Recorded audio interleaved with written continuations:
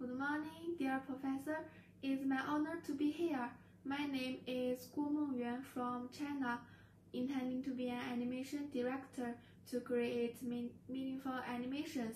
I desire to pursue more systematic and advanced studies in animation and digital arts. Recently, my favorite designer is Jimmy Calery.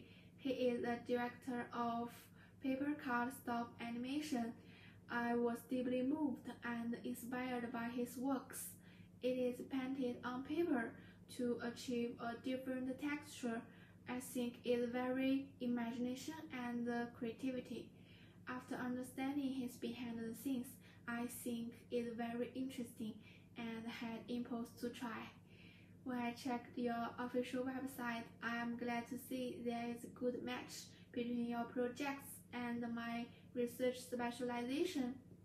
I was interested in stop motion, puppet fundamentals, and 3D animation fundamentals. I think it could reinforce my knowledge and techniques in animation creation and exposition.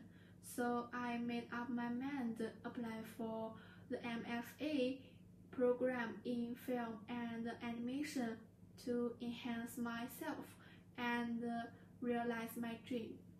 I took part in many activities and competitions.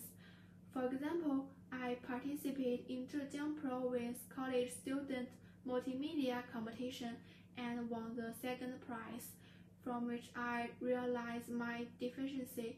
So after accumulating amount of professional knowledge, I want more challenging projects to improve my skills.